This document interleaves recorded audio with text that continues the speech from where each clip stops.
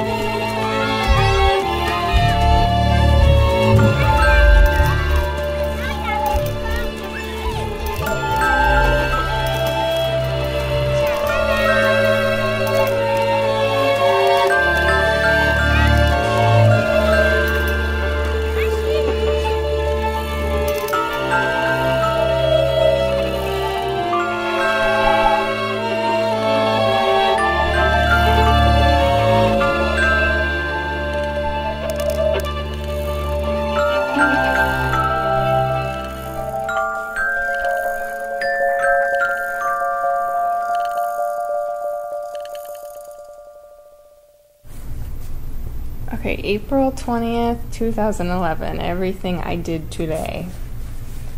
Woke up at 8:30 when alarm went off.